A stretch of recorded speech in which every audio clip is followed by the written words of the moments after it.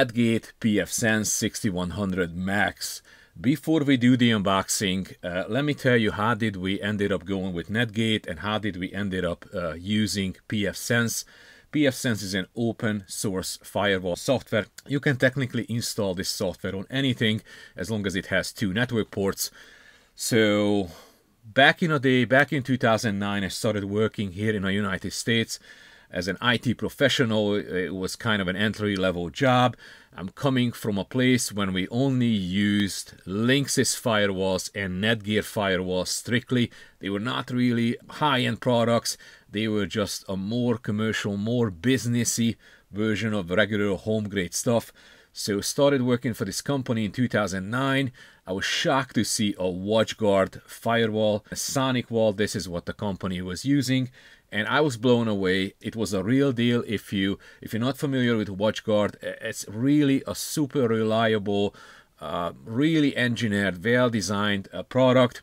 And this is what we were using uh, for a little bit. And same thing with the SonicWall I absolutely love SonicWall It has the consistency. If you know one, if you if you're familiar with a low end uh, model, doesn't matter if you get a high-end model or doesn't matter if you're five, six years later, the menu almost looks uh, identical. Uh, everything is is is building on on the previous versions. So like you don't have to spend a whole lot of time every couple years to to to just learn something completely redesigned. And this is one of also the main benefit uh, benefit for uh, for pfSense so at the beginning, we were using WatchGuard and we were using SonicWall, and as the company was growing, getting larger and larger clients, also the companies were growing with us.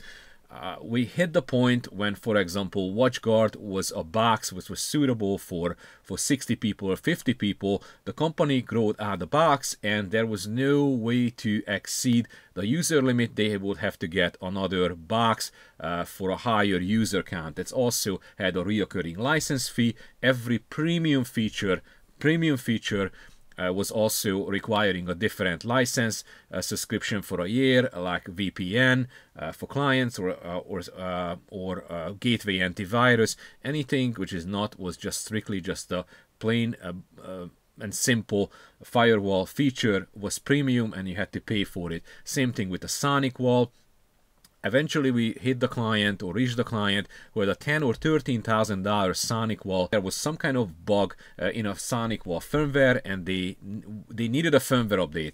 And we found out that yes, SonicWall already has a fix for that, but you need a newer firmware. Since you have no subscription, uh, you cannot download any of the newer version of the firmwares. So went out to one of the reseller at SonicWall, got a quote. It was three or four thousand dollars for the three-year subscription uh, for to get the firmware update and get uh, warranty established back on the existing hardware.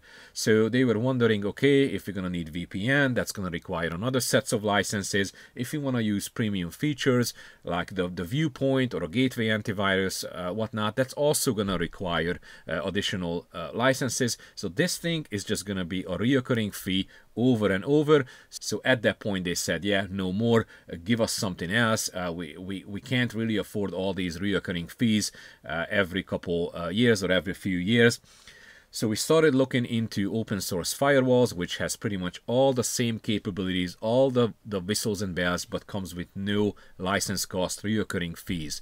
So obviously there is a discussion. This is an open source firewall, while the WatchGuard and a SonicWall closed. It's very uh, strict how the everything is gets developed, uh, gets pushed into production, and uh, open source has pros and cons, a lot of pros, some cons, and uh, it's the benefit is definitely outweighed any kind of uh, risk uh, regards uh, going with the uh, with the open source version of a firewall application or appliance. So pfSense was great, but what kind of hardware should we use for pfSense?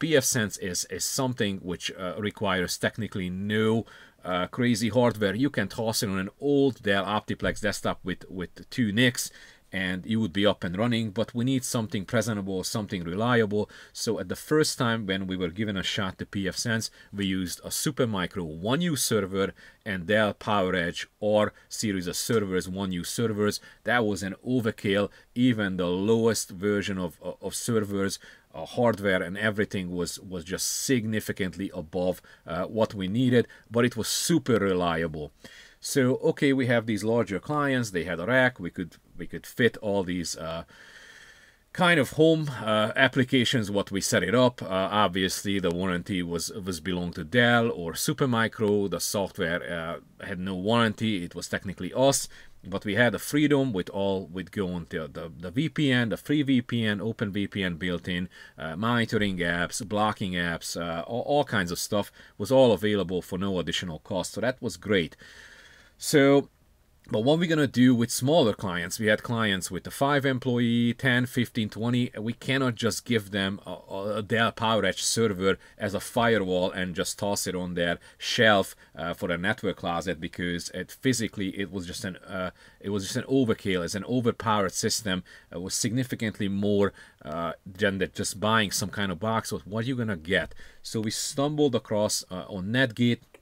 It was I think over a decade ago and uh, we could have we could have made a, a better choice. Uh, this thing is solid and reliable as a, as a Honda or a Toyota uh, regards of the quality. Uh, we probably have 50, 60 of these uh, in production uh, and and and I can call two times we, we had to call Netgate uh, for uh, warranty related sort of stuff. One of the firewall had an SSD failure, which obviously the SSD is not made by Netgate. We called uh, Netgate. We told them like the the SSD failed in a firewall. And uh, the RMA was a breeze. It, it literally took no time to set up a ticket and get a replacement drive. And the other time I can recall uh, was on site. Um, what happened is there was a power outage, and when the box rebooted, uh, it something crashed and pfSense was unable to load. Uh, the box still had a Netgate warranty on it. I called their support. They uh, answered the call uh, very quickly. Uh, the the uh, the support per person who I ended up working with was super knowledgeable. There were no nonsense. Uh, he straight up gave me the instructions how to uh, reinstall uh, the Netgate pfSense uh, package or firmware on it or, or software on it, and then we could just restore the, the previously existing backup configuration before the crash. So the client was up and running in no time, and in the in this one decade history with about 50 to 60 of these boxes in production that's pretty much all what happened. I this is not a sponsored video. Uh, netgate doesn't send us any free product. Uh, anything we buy and purchase we go onto their website and just buy it straight from there. Or just in this case we are telling our clients like hey go to netgate get this particular model with the solid state optional upgrade and then you're good to go. So yeah, um, I'm probably not the best person to to represent or present uh, the firewalls.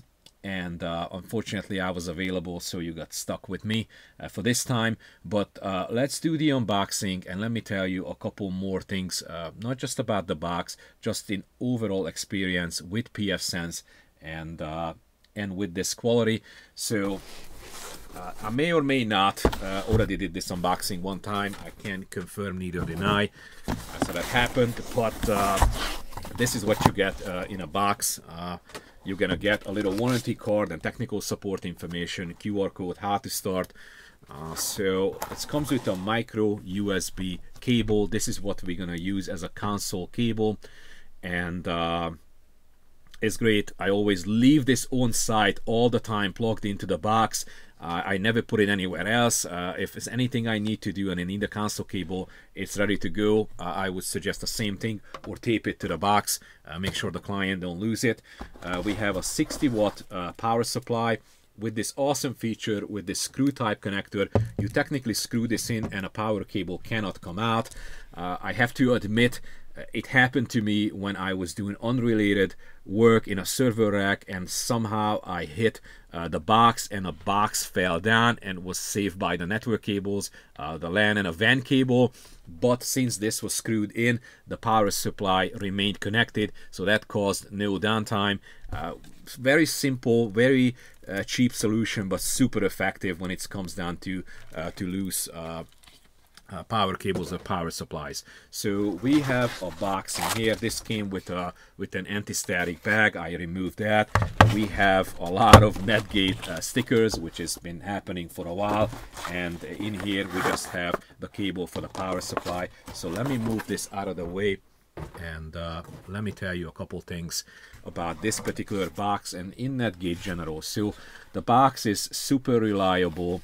Uh, I cannot be more happy uh, we never uh, ended up purchasing the very baseline models. I think we did once or twice, and, and the box was just sluggish and slow. So we uh, kind of positioned ourselves to the 3000, 4000, 6000 series or above if it's a larger client. And uh, the reason why we picked uh, the 6000 series is because this is the first model uh, which in a Netgate line which has SFP modules or capable to handle SFP modules. If you have a Comcast or Verizon Fios business glass connection, uh, you're going to end it up just with uh, the fiber connection and then you're going to need an SFP module to connect your firewall. And this thing is great. So just uh, looking at the ports, I think we have uh, SIM cards options in here behind this cover, which we never used. Uh, we also have uh, a regular uh, console port. I think it's a Cisco compatible port. We have the USB micro connection in here. This is where the console cable gets attached. We have WAN 1, which is 1 gig ports. Uh, it could be an RJ45 equipped cable and an SFP module. When you set this firewall up, you set WAN up. Doesn't matter where the cable is en ended up actually going to. WAN 2, same thing in here. We have uh, WAN 3 and WAN 4. These are 10 gig uh, SFP modules. You can have fiber or you can have regular uh, RJ45 uh, connectors through the SFP module. You have the freedom and you have LAN 1, 2, 3, 4 and this is not a switch it is not a switch anymore. In a previous generation, I think in the 3000 models, uh, we had four ports in here and that was a switch. And thanks for Netgate, this is no longer a switch. These are unswitched 2.5 gig ports, uh, which give us way more flexibility what kind of traffic what are you going to do this could be also uh, optional internet ports or, or, anything you you want to make it so it, it is really great we have some usb ports in here uh, and inside the box we have 8 gigs of onboard RAM and a 16 gigs of onboard storage but uh, you can select 128 gig solid state and this is what we do. And the reason why we find out that sometimes when we need more logs or want to go back in a full history uh, the 16 gigs might not be large enough but uh, but the 128 gig is, is, is a really good options to have that. We also have a 4 core Intel CPU in this thing with firewalls uh, different packages installed on a box. There is absolutely no issues with performance. And another thing I realized when I was replacing an older firewall was also a Netgate uh, on site that we don't have a fan anymore. Uh, that box had a fan. It wasn't loud. We haven't had a single fan failure. But I think if we can make it without a fan, this thing has a ginormous heat sink. When I pulled this firewall apart just to see what's inside, uh, first of all, I was surprised how busy is the circuit board inside. But that shouldn't be a surprise because we have all these ports uh, and we have all great hardware supporting uh, on, on, on, on, a circuit board. And uh, this thing is, is pretty much uh, comes probably 80% of the weight with this huge heat sink. We have no fan in here, which is awesome. Again, this is not a sponsored video. Um, I literally uh, sent a, a, client to Netgate and these are going out to their office and it's going to be a site-to-site VPN, a main uh, office connecting to three other pfSense. This works flawlessly if you are considered to switch to to pfSense or Netgate. It, it is awesome. You you don't pfSense. You can run it technically from any any hardware, even a 10-year-old. Uh, but this is a significantly uh, better solution. Uh, it's eight or nine hundred dollar as it is. I think nine hundred with a solid state. It's a cost of one single business class desktop and it lasts. It lasts if there's any complaint for netgate it lasts way longer than it should. Uh, 10 years some of them still uh, it shouldn't be but it's uh, i heard uh, that some client is still using this almost uh, close to 10 years and it's still running without a single hiccup or glitch. Very reliable stuff. Uh, some of the models had issues. If there's a power flick or your battery backup wasn't holding a charge that could have caused some issues uh, with the older, older, older models. Sometimes when the power came back or the internet came back, uh, the box wasn't recognizing if the LAN cable or a WAN cable was plugged in or not. You had to unplug the power cord, plug it back, or unplug the network or a WAN port and plug it back, and you were back in business. Uh, we used in a failover situation when we had uh, to ISP or, or a 4G connector, uh, plug it in uh, through the LAN cables from coming out from the 4G or 5G modem. This thing uh, has all the whistles and bells. Uh, if you familiar with pfSense on, on a small uh, appliance or for a small client, it's going to be the same exact thing for a largest appliance what they have. Nothing really changes regards of the menu. once you learn how to do things, you can you can just keep applying that knowledge for years or, or or for a decade. It's it is awesome. We are a small independent shop.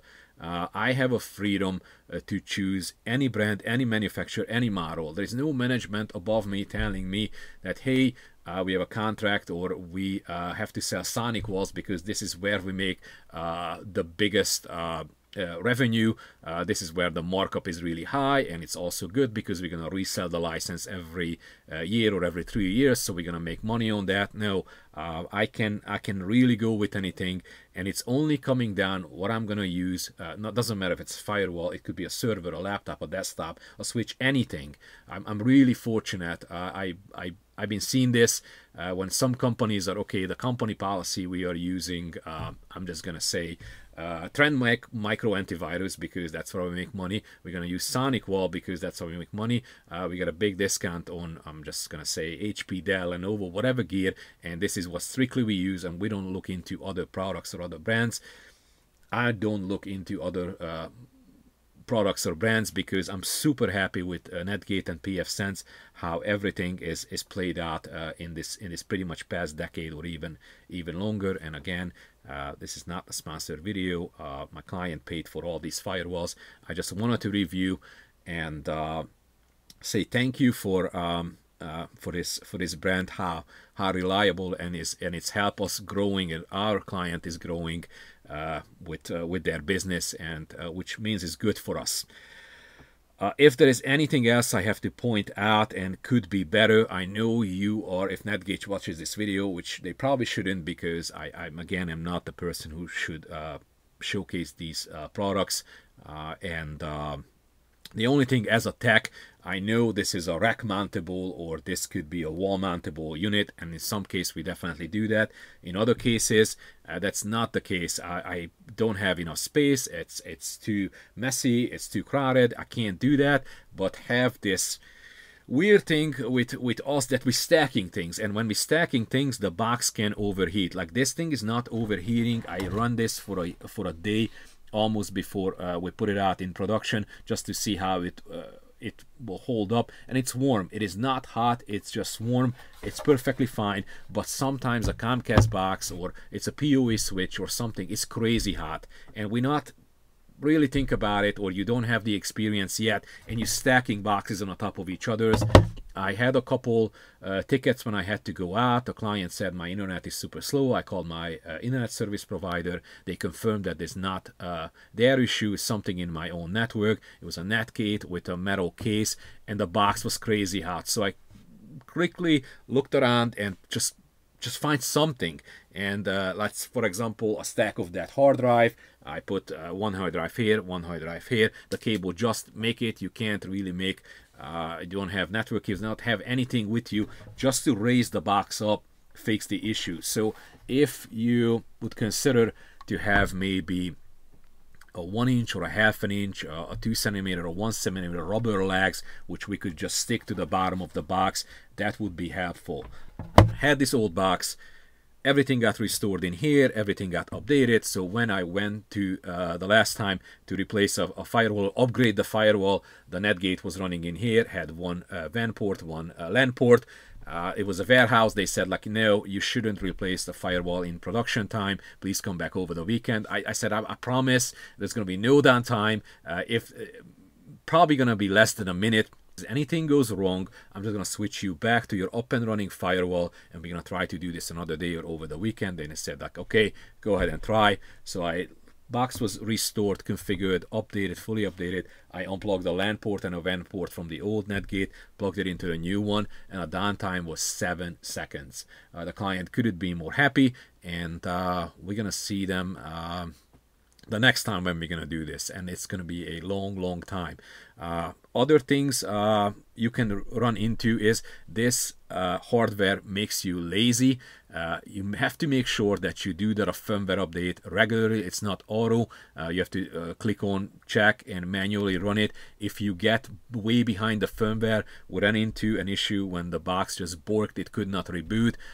You had to go out on site and reinstall pfSense and restore or set them up with a new firewall so we always factored in the best way to handle this is it, it it's the experience, I'm sorry, with Netgate is kind of set to forget. It is not uh, just like a core or anything else. It needs maintenance. It's one thing you just have to do is click, uh, update and run. Uh, other than that, we pretty much never ran into. Uh, I just replaced one of them. It was almost a four-hour round trip. That's how confident we are that this box is gonna run five, six uh, years. I heard it's it's even can last longer. I heard from other people. So if you have any question uh, in a comment section, let me know. Um, getting close to 1,000 subscribers. If you could hit me up with a like and a subscribe, I would really appreciate it. Thank you so much for your time. I see you in the next video. Scott's out.